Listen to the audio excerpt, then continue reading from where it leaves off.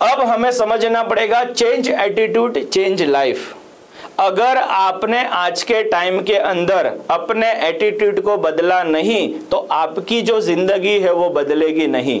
क्योंकि यहाँ पर बहुत ही अच्छा थॉट लिखा हुआ है old ways won't open new doors इसका मतलब यह होता है, पुराने रास्ते कभी भी आपको नई मंजिल की ओर लेकर नहीं जाएँगे। नई चाबी जो होती है, वो पुराना ताला जो है, वो खोलती नहीं है। पुराने ताला अगर हमें खोलना है तो पुरानी चाबी चाहिए और नया अगर खोलना है तो नई चाबी भी चाहिए। तो उसी तरीके से हमें अपने एटीट्यूड को चेंज करना पड़ेगा और चेंज जब अपना एटीट्यूड होगा तो अपनी ज़िंदगी भी चेंज होगी।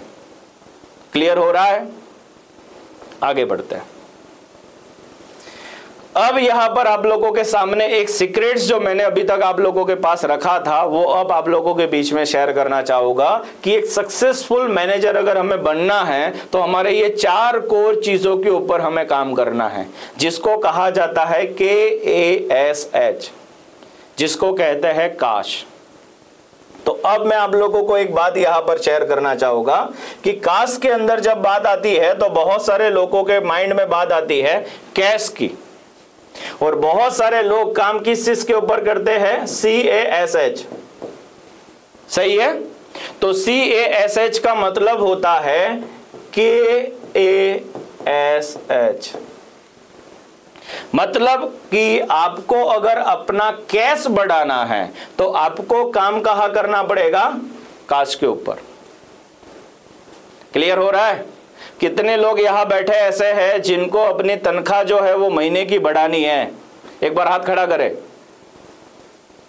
कितने लोग यहाँ बैठे ऐसे हैं जो लोग चाहते हैं कि भाई मेरा प्रॉफिट जो है वो बढ़े या मेरी इनकम जो है वो बढ़े? वो हाथ खड़ा करें।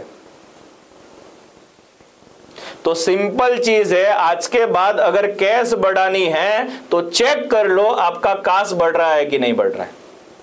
क्योंकि काश बढ़ाना आपके हाथ में है कैश बढ़ाना ऊपर वाले के हाथ में। तो आपको काम करना पड़ेगा काश के ऊपर, जहाँ पर के फॉर कहता है नॉलेज ए फॉर कहते हैं एटीट्यूड आज के बाद ए फॉर एप्पल साला कोई बोलेगा नहीं। ए फॉर एप्पल कोई नहीं बोलेगा ए फॉर एटीट्यूड ही बात करेंगे। क्योंकि एटीट्यूड स्ट्रांग होगा, ज़िंदगी बदल पाओगे। बच्चे थे तो ए फॉर एप्पल सही था, अब ए फॉर एटीट्यूड के ऊपर काम करना है। एस फॉर आएगा स्किल आपको अपनी स्किल डेवलप करनी पड़ेगी, क्योंकि आज उसी इंसान को आगे बढ़ाया जाता है, जिसके अंदर कुट कुट कर स्किल बड़ी पड़ी होती है अलग अलग चीज़ों के ऊपर काम करने को लेकर। और उसके बाद आता है एच फॉर हैबिट एक बार चेक करना पड़ेगा अपनी आदतें, जिसके ऊपर हम डिटेल में बात करेंगे। तो आज ये जर्नी हमारी जो डिस्कशन होगी, ये कास के ऊपर हम बात करेंगे और कास के ऊपर ये सारी डिस्कशन हमारी चलेगी। तो सबसे पहला टॉपिक हम यहाँ पर लेंगे के और के फॉर हम बात करेंगे नॉलेज तो अभी तक हमने जो एक घंटे के अंदर डिस्कशन किया, वहाँ पर वही बात चल रही थी कि ज़िंदगी में कामयाब होना है तो नॉलेज बढ़ाना पड़ेगा। अब बात करते हैं नॉलेज का एक्चुअल मतलब क्या होता है। बहुत सारे लोगों को ऐसा लगता है कि मुझे आता है तो मैं सबसे आगे बढ़ पाऊँगा। मुझे जितना पता है, उससे मैं कामयाब हो पाऊँगा। ऐसा ज़रूरी नहीं है। क्योंकि नॉलेज की डेफिनेशन एक्चुअल में जो निकल कर आती है, वो कुछ ऐसी है। नॉलेज का मतलब होता है information plus action is equal to knowledge plus plus plus action बहुत सारे लोगों को प्रॉब्लम यही है, पता बहुत कुछ है। और आज जो बात हम यहाँ पर कर रहे हैं, बहुत सारे लोगों को पहले से ही बहुत सारी चीज़ें पता है। लेकिन प्रॉब्लम यह है, करते नहीं है। और जब करोगे नहीं तो कामयाब होगे नहीं। जैसे कि एग्ज़ाम्पल यहाँ पर लेना चाहूँगा और आपको क्लियर करवाना चाहूँगा, कितने लोगों को पता है कि कामयाब होने के लिए रोज सुबह जल्दी उठना चाहिए? सबको पता है? कितने लोगों को पता है कि रोज सुबह उठकर एक्सरसाइज करना चाहिए अपने हेल्थ को मेंटेन करने के लिए? कितने लोगों को पता है रोज सुबह उठकर एक ग्लास दूध पीना चाहिए हेल्थ को बेहतर बनाने के लिए? और कितने लोगों को पता है कि बाहर का फास्ट फ़ूड खाना नहीं खाना चाहिए? अब सवाल यह होता है, पता सब कुछ है, करते कितने हैं? तो अब दूसरा सवाल यह रहेगा, कितने लोग रोज सुबह जल्दी उठ जाते हैं? तो पता सबको है, उठते हैं चुनिंदा लोग, जो पाँच प्रतिशत वाले होते हैं। वो भी ब्रह्म मुहूर्त में उठते हैं, जहाँ पर वो अपने आप को ऊपर वाले के साथ कनेक्ट कर सके। बहुत सारे लोग सुबह उठने के बाद एक्सरसाइज के ऊपर फोकस नहीं करते हैं, उनकी बॉडी टाइम पर उनको साथ नहीं देती है। और बहुत सारे बिजनेसमैन लोगों को मिला हो, उनका गोल्डन पीरियड जब आता है, उनकी ज़िंदगी में टेन ग्रोथ करने का, उसी टाइम पर उनका शुगर बीपी सब आ जाता है। और उसके कारण उनको जितनी कामयाबी मिलनी चाहिए, वो नहीं मिल पाती है। एक जगह आकर वो अटक जाते हैं। क्यों? क्योंकि बीमारियों ने घेर कर लिया। बहुत सारे लोग ऐसे होते हैं, जिन लोगों को कामयाब होता होना होता है, लेकिन अच्छा खाना, अच्छी चीज़ों को अंदर डालते नहीं है। पता है, लेकिन फिर भी डालते नहीं है। पाव भाजी आ जाती है तो मुँह में पानी आ जाता है। गुलाब जामुन आ जाता है, मुँह में पानी आ जाता है। बहुत सारे लोगों का आ रहा है। पानी पूरी की बारी बारी आती है, जितनी भी लेडीज़ लोग हैं, अपने आप को रोक नहीं पाते। हैं तो ये चीज़ें होने का सबसे बड़ा कारण ये है, हमें पता है बाहर का फ़ूड खाने से हमारी सेहत बिगड़ सकती है, फिर भी हम खा लेते हैं, अन चीज़ों की हम प्रैक्टिस करते हैं, और हम अपना इंफॉर्मेशन जो है, उसको कन्वर्ट ही नहीं कर पाते हैं नॉलेज में, क्योंकि हम एक्शन नहीं ले पाते।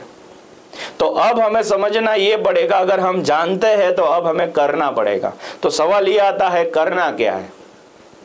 तो करना कुछ ऐसा है, हमें तीन चीज़ों का नॉलेज होना ज़रूरी है एक अच्छे मैनेजर बनने के लिए, जहाँ पर पहला है सेल्फ मैनेजमेंट दूसरा है टीम मैनेजमेंट और तीसरा है जॉब मैनेजमेंट सेल्फ मैनेजमेंट का मतलब है, आपको खुद को पता होना चाहिए आप कौन हो और आपको करना क्या है। दूसरा आता है टीम मैनेजमेंट। अगर आप एक टीम को चला रहे हो, रन कर रहे हो तो आपको पता होना चाहिए टीम को कैसे आगे लेकर जाना है। और लास्ट में आता है जॉब। जिस काम के लिए आपको अपनी कंपनी ने हायर किया हुआ है, क्या वो काम आप अपना हंड्रेड परसेंट लगाकर दे रहे हो? तो आपकी कामयाबी पक्की है। अगर नहीं दे रहे हो तो आपको क्लियर करना पड़ेगा कि आप कर क्या रहे हो। तो आगे बात करेंगे वन बाय वन और हम समझेंगे सबसे पहले कि हमें अगर अपना सेल्फ मैनेजमेंट करना है तो शुरुआत कहाँ से करनी है। तो सेल्फ मैनेजमेंट के अंदर आपको करना पड़ेगा सबसे पहले यहाँ पर डेली लर्निंग। जैसा मैंने 20 20 20 ऑलरेडी आप लोगों को बताया है। तो मैं ये चाहूँगा कि आज के बाद रोज सुबह एक घंटा आप अपने आप को दोगे। क्या देगे? यस कुछ लोग घूर घूर कर देख रहे हैं। तो घुर घुर कर देखो मत। आराम से इजीली बैठकर बातचीत करना है और समझना है कि जितना मैं आज आपको बताऊँगा, उसके ऊपर आपको काम करना है। दूसरा आपको करना क्या है? प्रिपेयर आपको करना है डेली मतलब हर इंसान जब जॉब पर जाएगा तो पहला एक घंटा आपको अपने आप को देना है, भगवान को याद करना है प्रेयर करनी है, प्रार्थना करनी है, फिर पूरे दिन में आप करोगे क्या, उसका टू डू लिस्ट बनाना है। क्योंकि जब आपने पूरे दिन की चर्या जब आपने तय कर ली होती है तो आप फोकस कर पाते हो अपने प्रायोरिटीज काम के ऊपर।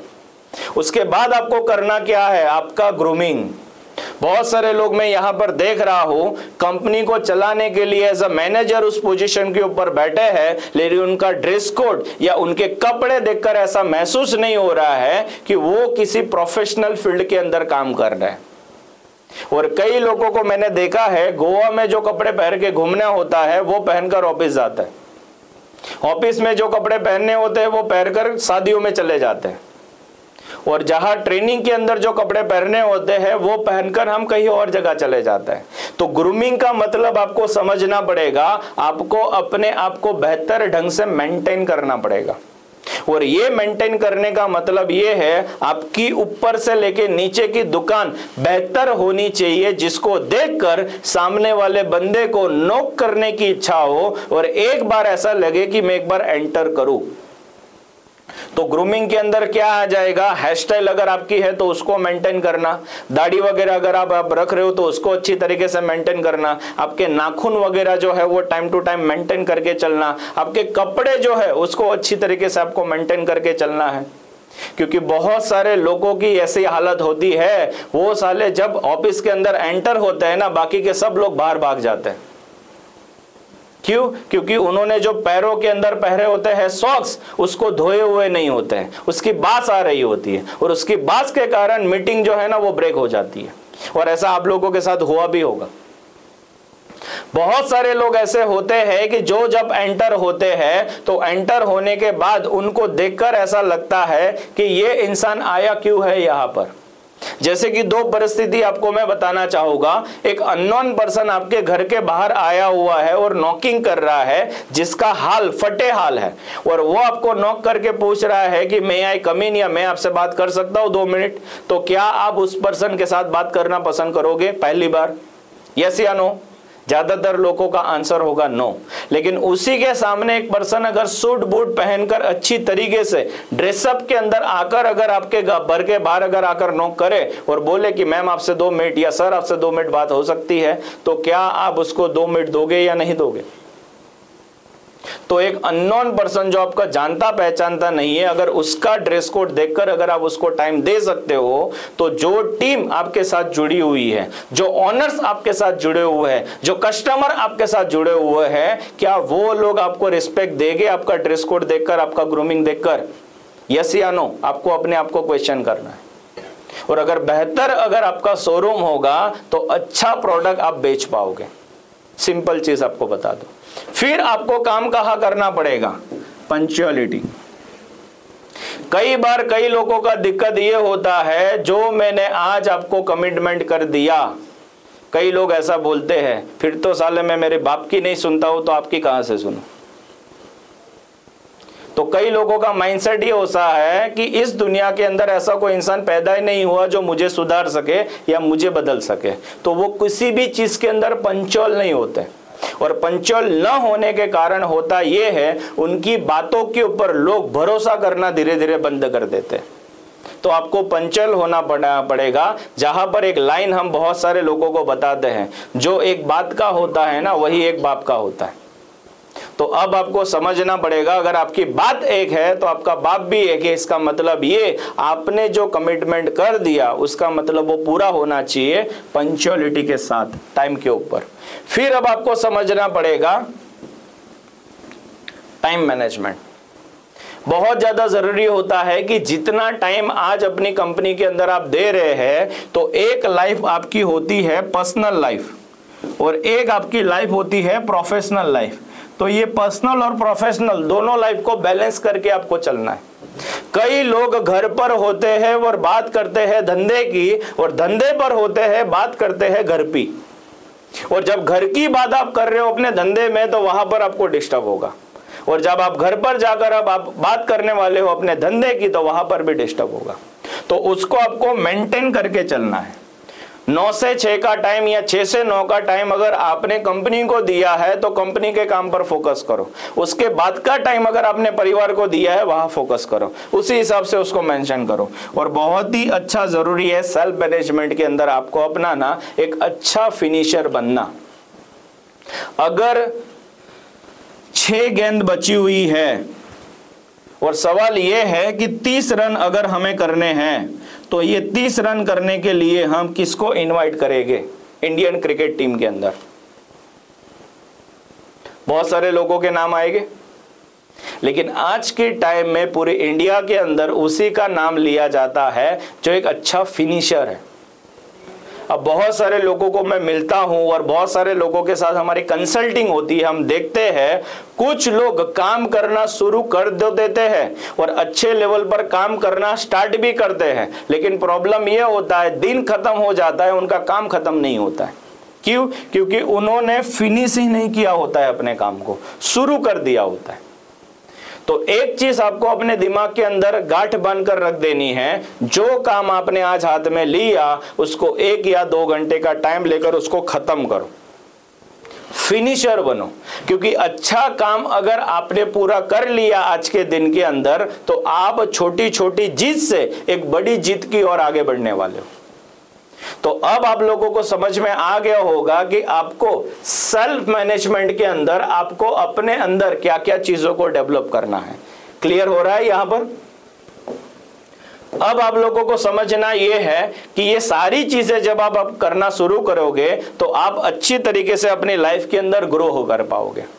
अब दूसरी चीज़ मैं आप लोगों को बताना चाहूँगा जो होता है टीम मैनेजमेंट तो टीम मैनेजमेंट के अंदर अगर आपको कामयाब होना है तो आपको सबसे पहले करना क्या पड़ेगा? टीम मैनेजमेंट के अंदर आपको कामयाब होने के लिए आपको करना पड़ेगा daily brief meeting with your team रोज सुबह उठकर अपनी कंपनी का एक कल्चर बना लो। रोज भगवान को हम याद करेंगे और भगवान को याद करके हम अपने काम की शुरुआत करेंगे। और जब भगवान को याद कर लिया, फिर हम बात करेंगे डेली ब्रीफ मीटिंग, जहाँ तीन चीज़ों के ऊपर बात होगी। कल के दिन के अंदर क्या चीज़ अच्छा रहा, गुड क्या रहा? उसके बाद हम बात करेंगे बैड क्या रहा। और उसके बाद हम बात करेंगे कि आज के दिन में हम करने वाले क्या है, वर्क क्या रहेगा। तो ये तीन चीज़ों के ऊपर हमारी बात होनी चाहिए ब्रीफ मीटिंग के अंदर जब हम अपनी टीम के साथ सुबह का टाइम दे रहे हैं और फिर दिन की शुरुआत करो। सेकंड टीम मैनेजमेंट के अंदर क्या करना है? क्लियर करना है हर पर्सन का रोल और हर पर्सन की रिस्पॉन्सिबिलिटी क्योंकि रोल एंड रिस्पॉन्सिबिलिटी जब आप क्लियर करोगे, तब जाकर ही आपको पता चलेगा आपकी टीम का हर बंदा क्या करेगा और आप क्या करोगे। कई बार मैं देखता हूँ, कई कंपनी के अंदर ऑनर भी वही काम कर रहे टीम भी वही काम कर रही है टीम के अंदर के लोग भी वही काम कर रहे हैं। मतलब एक ही काम को दस दस लोग लेकर बैठे हैं पाँच पाँच लोग लेकर बैठे हैं दो दो लोग लेकर बैठे हैं। और शाम का टाइम पर जब पूछा जाता है कि आपने किया क्या तो बोला ये जाता है, ये मेरा काम नहीं था, ये काम तो इसका था। ब्लेमिंग होता है। तो वो क्लियर होना चाहिए, हर पर्सन का रोल एंड हर पर्सन की रिस्पॉन्सिबिलिटी तब आप अच्छी तरीके से अपनी टीम को मैनेज कर पाओगे। आप सभी लोगों ने लगान मूवी देखी होगी। यस दो गुना लगान। देखा हुआ है? तीन गुना लगान।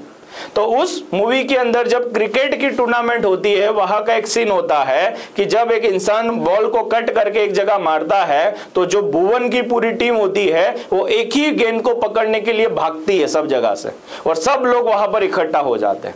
तो भुवन आकर वहाँ पर लीडर ऐसा बोलता है, आज के बाद कोई भी बंदा अपनी बॉल अपने इलाके में आएगी, वहीं पर भागेगा। बाकी बॉल कहीं पर भी जाए तो सब लोग इकट्ठा होकर भागेंगे नहीं।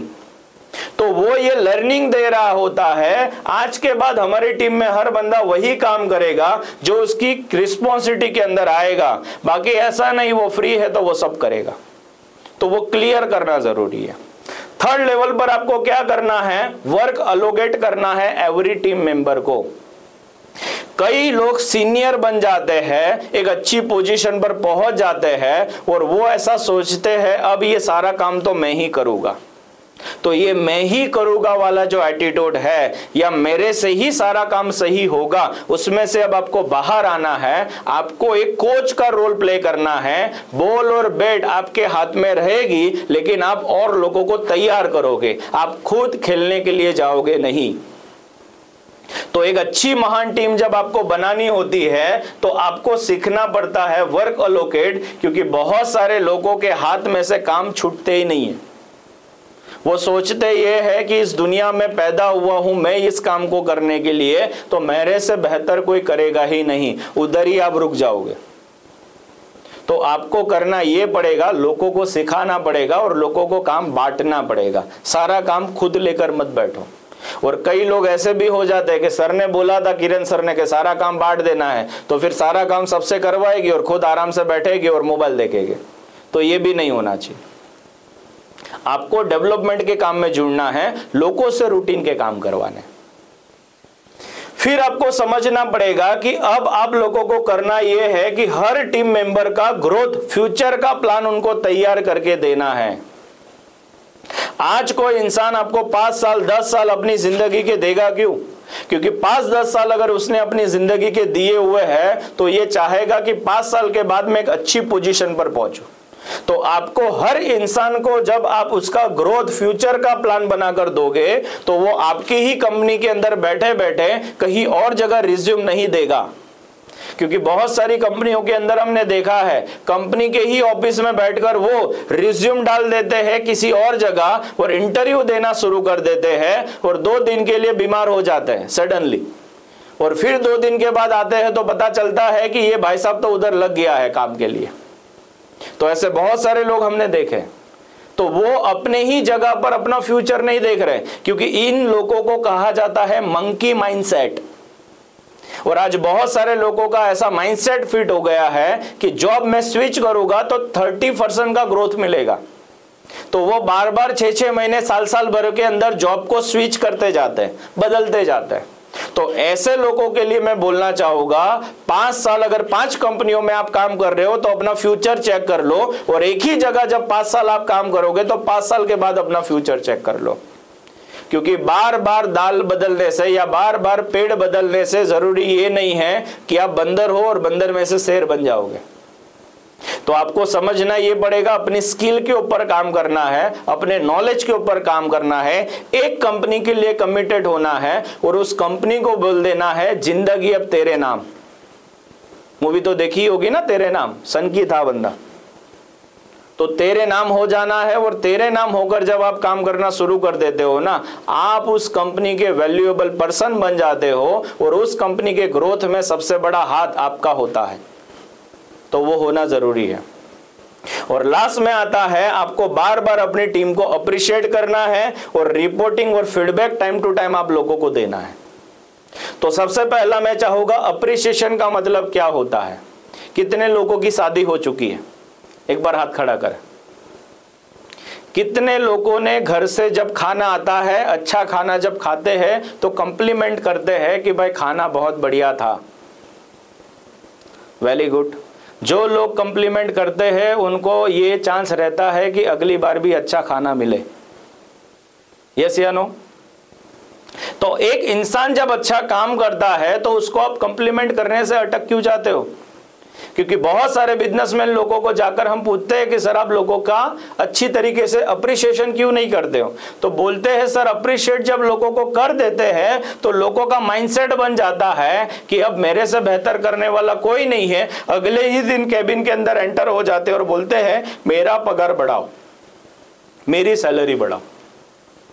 तो उसके कारण हम लोगों को अप्रिशिएट ही नहीं करते फिर मैं काउंटर क्वेश्चन करता हूँ। आपको भी और आपके लीडर्स को भी कि सर, आपकी टीम में एक ऐसा इंसान है जो कभी सैलरी बढ़ाने को लेकर बात ही नहीं कर रहा है। और दूसरा एक इंसान है जो हर बार आकर बोलता है, मेरी तनख्वाह बढ़ाओ। तो कौन सा इंसान आपके लिए अच्छा है? तो कई लोग बोलते हैं, सर, पहला वाला अच्छा है। सर, बात गलत है।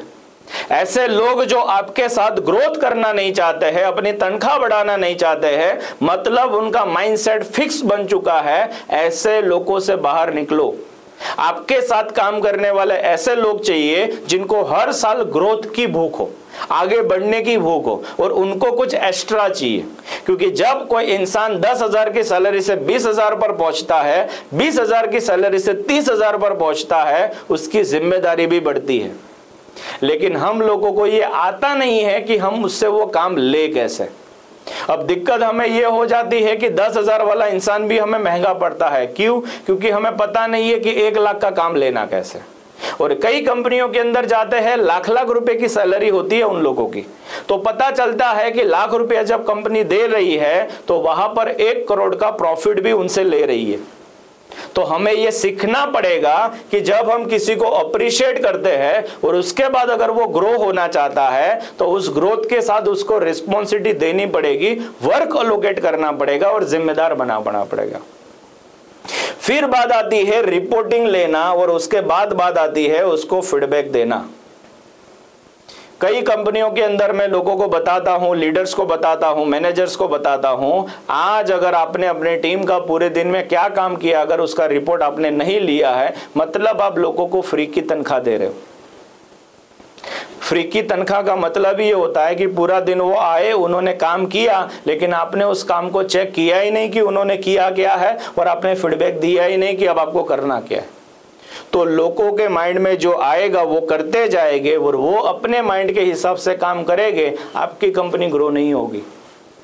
क्योंकि आप अगर एक सीनियर पोजीशन के ऊपर पर्सन हो, आपकी ज़िम्मेदारी ये होनी चाहिए, कल के दिन में लोगों से क्या काम करवाना है, उसका प्लानिंग आज शाम को आपके डेस्कटॉप के ऊपर या आपकी डायरी के अंदर हो जाना चाहिए।